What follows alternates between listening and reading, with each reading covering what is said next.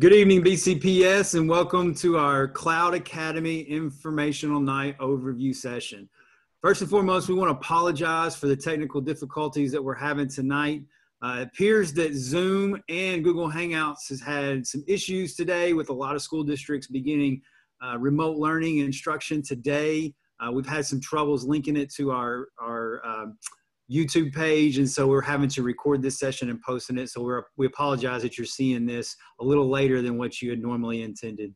Um, we are so excited to be with you tonight, and I know that tomorrow will be a different first day of school than probably any of us have ever had.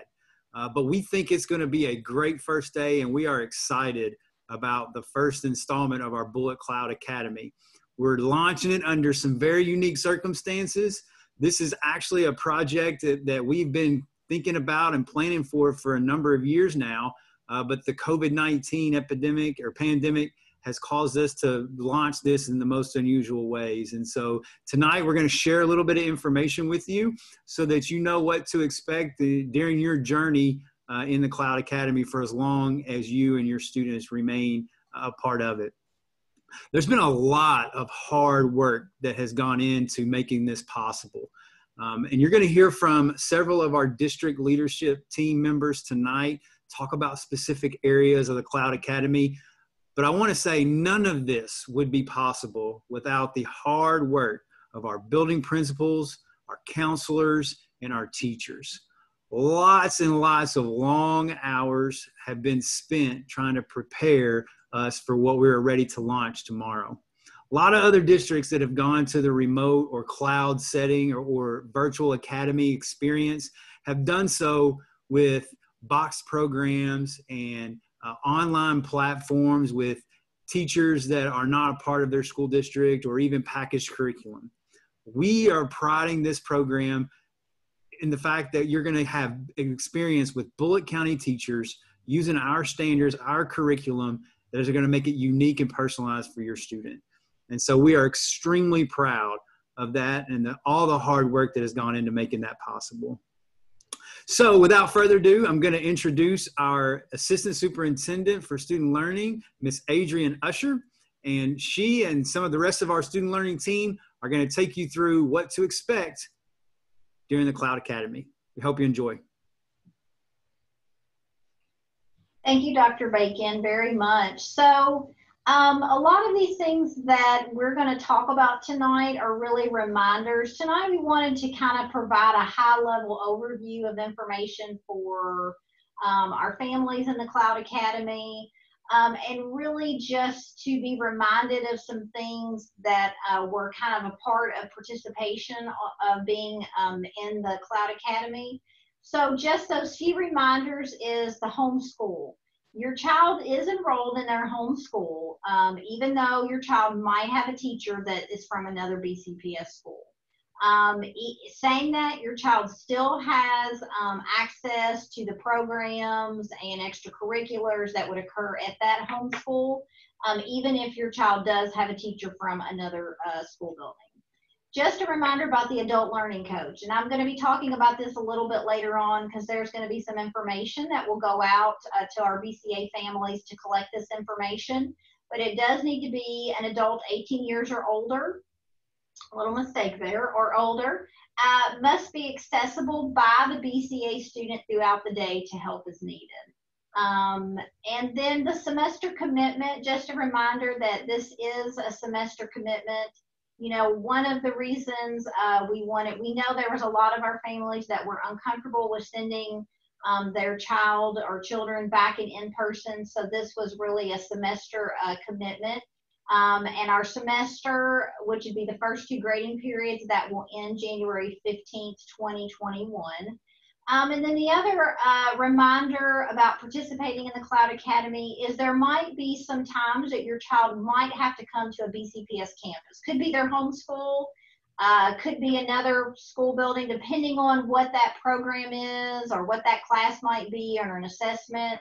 And, and part of that is really to provide if there's some certain programs or services that your child is enrolled in or needs um, then they might have to potentially come in uh, to participate through that. So those are, like I said, just the reminders that we originally had on all the information that went home previous or that went out previously and in the Facebook Live session that Dr. Bacon and I did earlier on. Um, but just wanted to provide you with those reminders again. Um, the adult learning coach talked about that. Uh, remember, 18 years or older.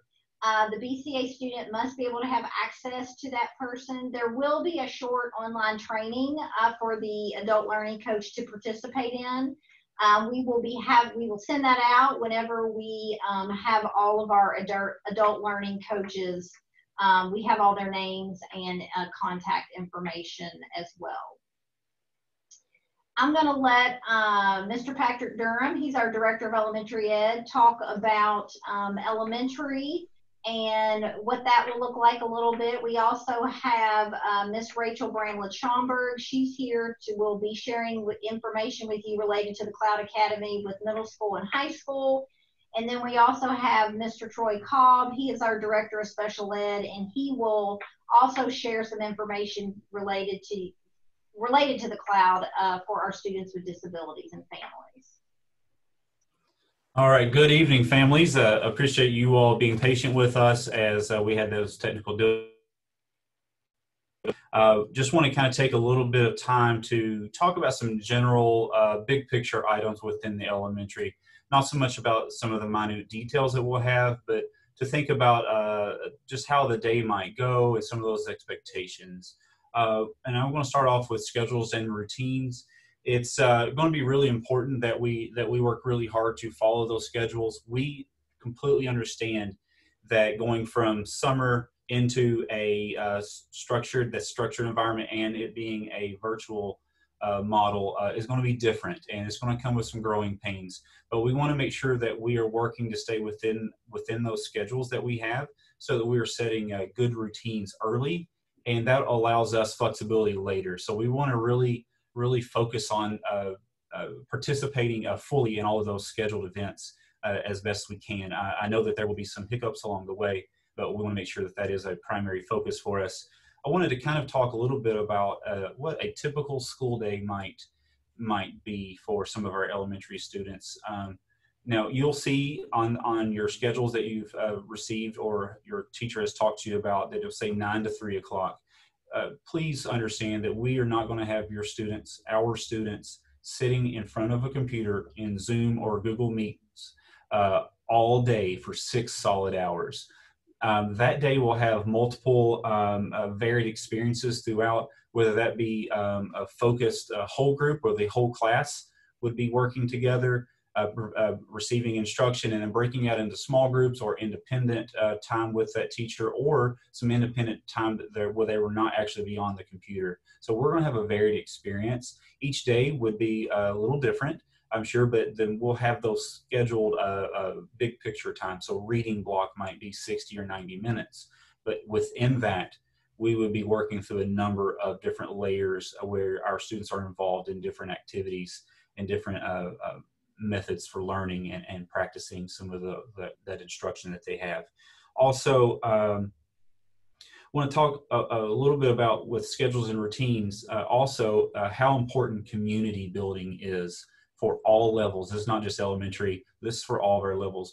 We have planned and or have been working really hard to make sure that we're building community within our classrooms uh, in the virtual environment and also really working to support the social emotional uh, needs of our students. We understand that things are different right now, and we're working really hard to not just support the academic, you hear that a lot, but we're really concerned about uh, making sure we're supporting our students' well being. It's truly the whole child approach uh, in this, and so uh, your students will have scheduled time each day where they're just going to be interacting with their classmates and their teachers, and there will be opportunities to build social skills and emotional skills, counseling, all of those things are, are afforded to all of our students. So I wanted to make sure I touched on that a little bit tonight.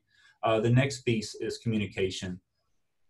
We all know how important communication is. We also know how frustrating it can be when communication is not readily available. And we know that um, along this process, we uh, communication is something that we want to continually increase And now that we are getting uh, getting everything rolling, and we've been able to reach out and speak with our families, our teachers have been had the opportunity to connect with you in some way. We know that communication will increase. Um, your cloud teacher is the primary facilitator for communication, uh, just like you would in a school. You you typically would ask the teacher about this or that, and so that that we wanted to have that similar framework.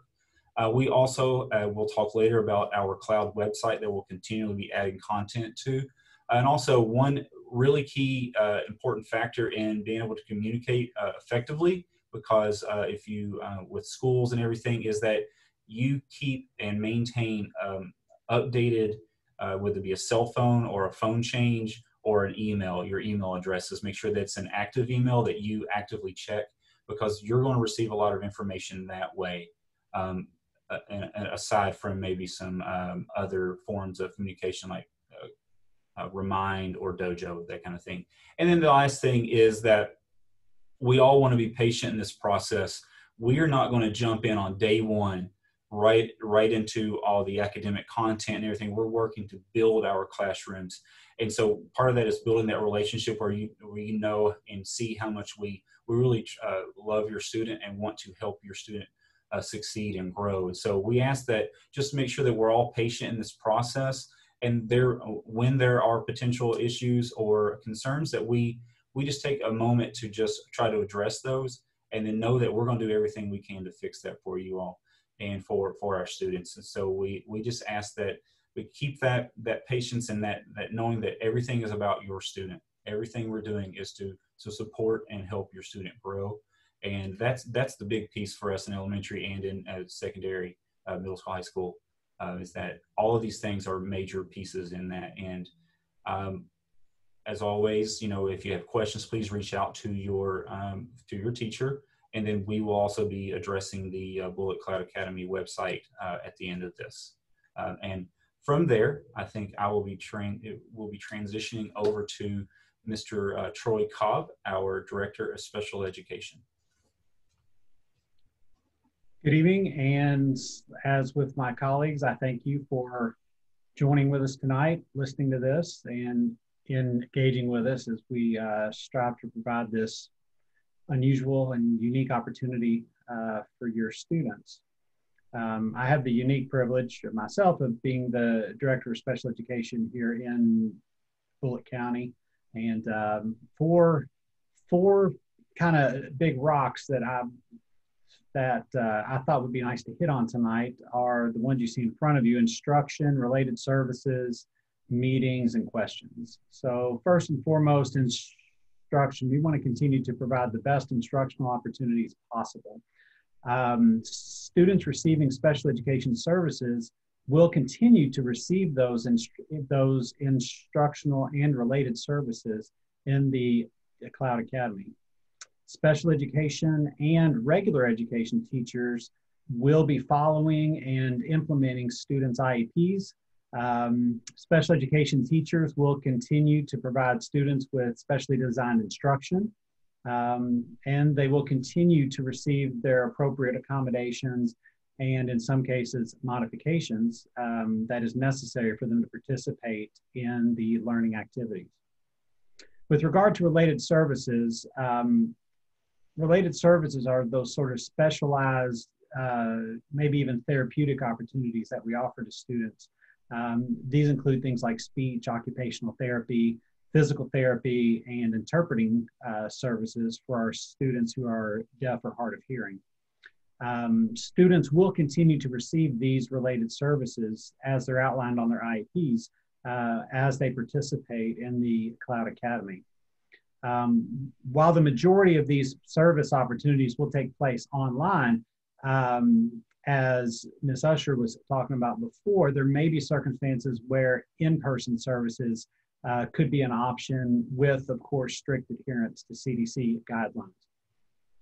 Um, one, one very important aspect of special education is, um, of course, all the meetings that we have to have. Um, those meetings will still take place um, for students in the Cloud Academy. ARC meetings will be will be held to conduct uh, annual reviews, discuss evaluation results, and various other issues and concerns as necessary. Um, like with related service provision, the vast majority of these meetings will occur virtually, um, but in-person meetings may also still be possible, um, of course, again, by uh, sticking to the CDC guidelines. It is likely that an ARC will need to be held to review your student's IEP and to discuss how services will be implemented in the Cloud Academy. Um, as the need for meetings occurs, the ARC chairperson for your school will, will be in contact to schedule these. Or if you would like to schedule a meeting, you may also contact your school's ARC chairperson, or you could contact your student special education teacher to let them know that you would like to have an ARC meeting. Uh, the last component there is where do you go for questions? And Mr. Durham hit on this a little bit uh, previously. Um, as we head into this new adventure of the Cloud Academy, you will have questions. Um, you'll have questions regarding your student special education services. Um, I encourage you, we encourage you to reach out to your special education teachers, uh, your students' caseload managers, um, and even their related service providers to let them help address your concerns. Your student's home assigned uh, ARC chairperson uh, may also be able to be of assistance. For our elementary folks, there is a um, dedicated ARC chairperson for each of those schools. In your secondary level, um, especially in the middle school, that uh, ARC chairperson is very often the assistant principal. And then for our high schools, um, there are um, ARC chair people um, that have that um, dedicated responsibility in each of in each of those schools as well. If you need additional assistance beyond this school level support, you can, of course, contact our department here at Central Office, and uh, we'll be happy to help in any way that we can. So with that, I'll uh, turn it over, I believe, to Ms. Bramlett Schomburg. Good evening. And again, as I reiterate, like everyone else, we apologize for the difficulties, but we thank you for your flexibility. And as we're all experiencing during this pandemic, the word flexibility. Uh, what I'm about to share with you for the secondary world, I'm going to start with middle school and dive into high school.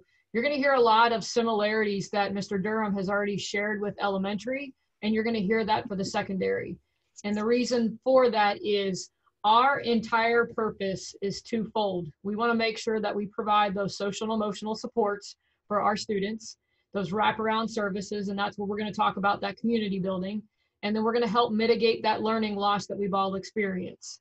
And so that's where this is the great privilege that we have here in Bullitt County is we're not utilizing another program. We're utilizing our best teachers we have to help educate our students in Bullitt, Bullitt County Public Schools. Um, so what you'll see on the screen right here is we have our six middle schools. And each one of them has a different unique thing that they bring to the table. Um, you'll notice that Bernheim and Bullitt Lick is they had started talking about how to create a um, unity for the central N but after having conversations with specific programs at each of their schools, they decided to keep it a school within a school. As we shift over to Hebron and Zoneton in East Side and Mount Washington, what I'm here to share with you is they're doing those things. They're creating that community. So Hebron and Zoneton has come up with their own little mascot for the Bullitt Cloud Academy, the Wolverines, um, to help have those students feel like they're not only part of their home school, but also part of a joint community. And then with the East Side and Mount Washington, both them and Hebron are addressing the students. So the North End students are getting taught by Hebron teachers and Zoneton teachers. They're still considered with their home school, but they're being taught by those teachers in the North End. The same goes for the East End. East Side and Mount Washington teachers are going to be educating your child if you're in the East End. They have done tireless work together to make sure that it is not felt like a separate entity, or a separate school, but they are still part of a community of learning.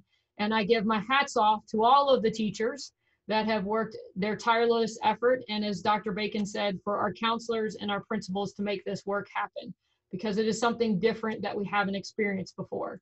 Um, as Mr. Durham shared with you, there's going to be schedules. And within those schedules, um, we're going to talk about routines.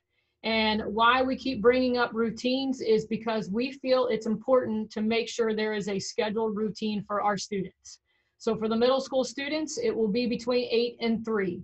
For the high school students, it will be 720 to 210. And our purpose behind that is to make sure we've developed routines. As Mr. Durham has shared, students will not be on the computers the entire time. They're going to have scheduled time for full class meeting. They're going to have scheduled time for small groups. They're going to have scheduled time for one-on-one. So again, things that you heard in the elementary world are the same that they're going to experience in the middle and the high school world. So it's not that your child is going to sit on a computer the whole time. They're also going to have some independent work. They're going to tap into other learning management systems such as IXL or Edgenuity, but those are not going to be the driving force. Those are going to be supportive units to help the teachers to help your child. Um, the other piece that Mr. Durham mentioned that I would also like to reiterate is communication. Communication is the key through this process of success. It, we're going into unknown territories. Within those unknown territories, reach out to your child's teacher. If that doesn't seem to work for your fancy, then I would suggest you reach out to your homeschool administrative team, whether that's the counselor or the assistant principal or the principal. And as Mr. Cobb said, we're always here to help and support. Um, the last piece, Mr. Durham talked about patience. I'm going to ask for grace. And why I'm going to say for grace in this component is that we are all going through these enchanted waters and we don't have a playbook for it. We have our best practices that we know are in place, and we know that we have the best teachers to surrounded by your children, which are the best kids that you provide for us. But at times we're going to hit rocky roads, and that's going to be okay because we're going to survive. So grace from us to you and from you to us. Um, and then Miss Usher, if you don't mind shifting over to the high school schedules, we're going to talk about the high school specifically. These are our high schools that we have here in Bullitt County. That hasn't changed. And so within that, as Ms. Usher pointed out before, um, there will be teachers that will be providing that online instruction. And depending on your child's pathway and depending on the expectations with that specific pathway or that specific class, your child may need to come into the school for their additional hours or their additional supports that they need in order to complete that pathway. So they're going to do the best that they possibly can to set it up with you. Um, how this is going to work is for each of the high schools, it's going to be a school within a school. So it will be, if you are at Bullitt Central, you will have teachers from Bullitt Central that will help you with your core, as well as your elective, as well as with your pathway classes. And again, as mentioned, you may have to come into the building depending on the class and depending on the teacher and what the structures and the expectations are with it.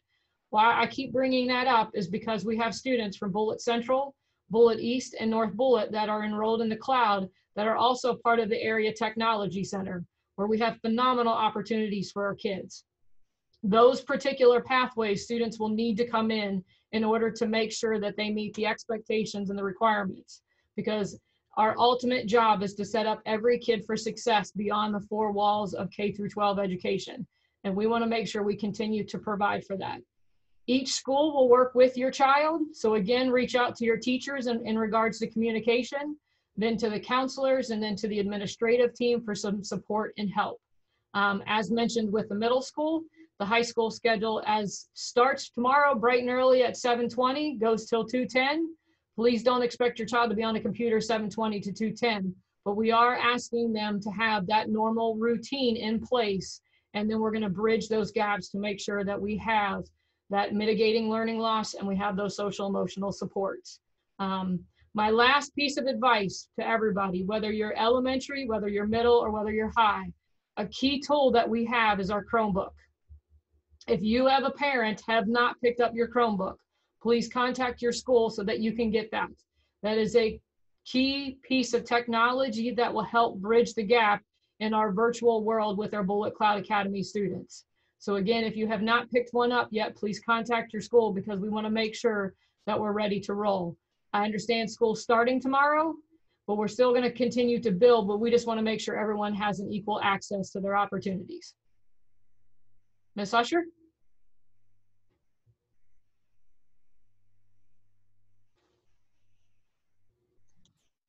Thank you, Ms. Bramlage. And parents, um, also, um, I, if you've not completed online registration, um, that is what, no matter how, if your child was enrolled in our school district last year and even the year before and the year before, everyone has to complete online registration and you can find that on our district website. So please make sure um, you have that as well.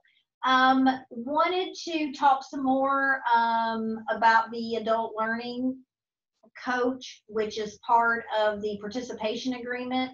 There will be a form that will be sent out uh, to our BCA families with this information in it. A lot of this information is information that you would see similar to first day of school paperwork uh, related to the techno acceptable use policy, um, the academic honor policy, the adult learning coach uh, component that we talked about earlier, the academic experience, which we had talked about that previously, and the commitment by BCPS. So this is information, I would encourage you to read it when it comes out in the Google form. We will need to have this completed per student. Uh, so if you have three children in your home that are participating in the Cloud Academy, this will need to be filled out per student um, in your uh, home. This form will also um, be asking information about the adult learning coach, that contact information, the name, uh, so teachers can also know uh, who to who can help, uh, who's available during the day if assistance is needed.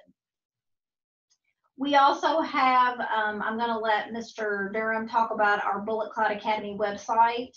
Uh, after this, we apologize, of course, for the technical diff difficulties um, that are out of our control tonight. Um, but in an email, we will send out this uh, recording along with the Cloud Academy website too and that form. So you'll have all of that in one uh, location. But I'm going to let Mr. Durham talk about the Cloud Academy site and just what's on there.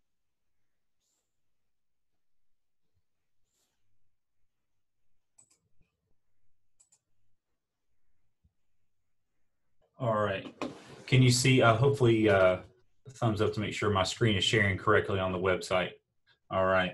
So uh, we've been working really hard with our digital learning coaches to provide uh, a, a, website in which that ultimately will be our one-stop shop for information, uh, and that's that is our goal. And so on here, uh, we we intentionally have basically the initial help pieces and aspects for our cloud because we know that a lot of the concerns that are taking place right now are really coming from how do I get onto Seesaw? How do I get onto Google Classroom? Uh, for some that are new with uh, technology, how to how do I get on with Chromebooks uh, and what do I do with how do I log in? And so uh, we wanted to provide that uh, right off the bat on our initial um, uh, launch of this. So it's really focused on getting us going, and we will continually add content to this website so you'll see when you are when you are when we uh, share this uh, this website address out, you'll be able to go and see our launch our launch page right here, um, and then you can choose if Chromebook is a question you have, Seesaw, Google Classroom, or just some generalized frequently asked questions uh, that that's available to you right there on the home page. Um, eventually, that will go away uh, once we get further into the school year, and you'll be able to choose uh, what what mode of information you need, whether it be parent, student, or teachers. The student section is uh, not completed yet. That's that's the piece that we held off on for right now until we get our students um, used to some of our components that we have in our classrooms. But what I'm going to talk about a little bit right now, and I won't go through everything, but some of the uh, the main points under the uh, the parent um, component. So when you go into our parent section, we will have content that kind of a framework of what cloud instruction will look like, generally speaking. Now, please know that this is a general framework. This is not the specific framework that each classroom will have.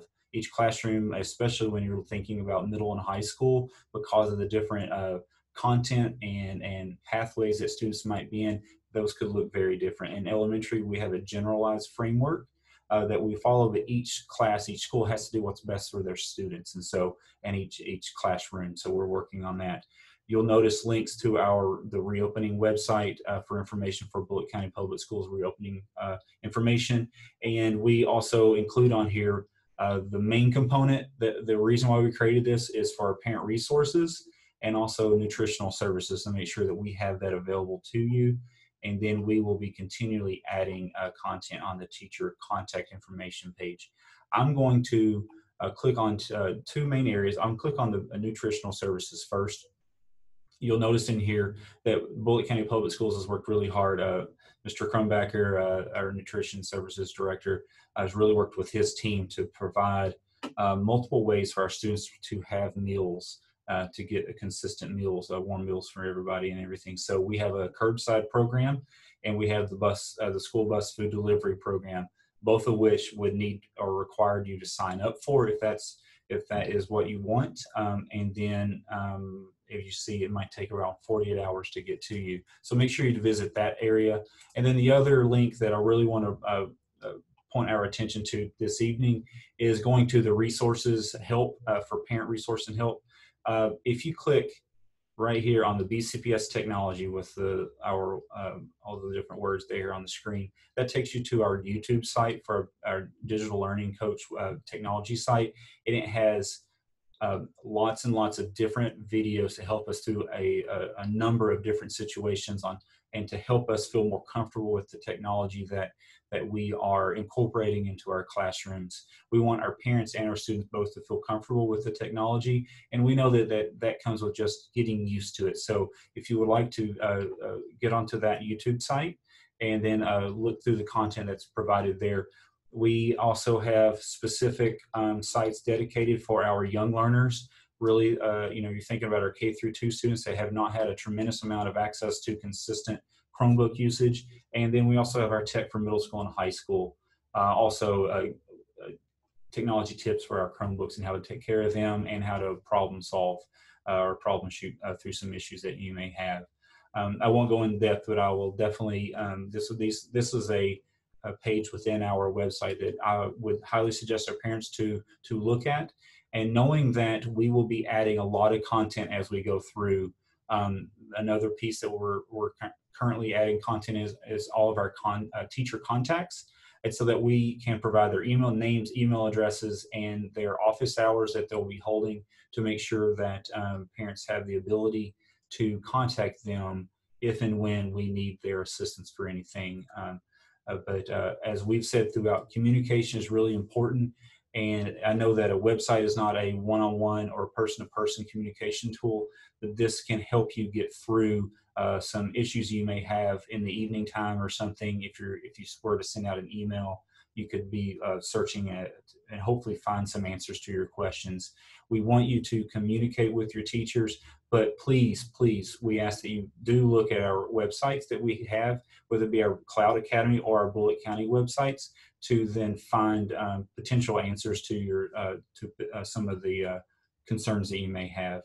Um, but that's our website. As I said, we'll continually be adding to that. Um, so check it regularly, and then we'll try to um, communicate as uh, specific topics may be brought up on those. But again, we thank you, and this we hope that this website will help you. And, I'll, and I will turn this back over to Miss Usher after I stop sharing. There you go. Thank you. Um, last of all, we just really just want to thank you for your time. Um, we apologize once again for the technical difficulties uh, with Zoom and um, not connecting to YouTube. We will get this information out to you tonight. We will send that, we will post this on uh, Facebook so you will have access to this. If you have any questions, please do not hesitate to contact your child's teacher um, or your homeschool if you have any questions. Um, and do not uh, forget to check out the Bullitt Cloud Academy website for additional information. Uh, we appreciate your time tonight, and uh, like we said, do not hesitate to reach out at all.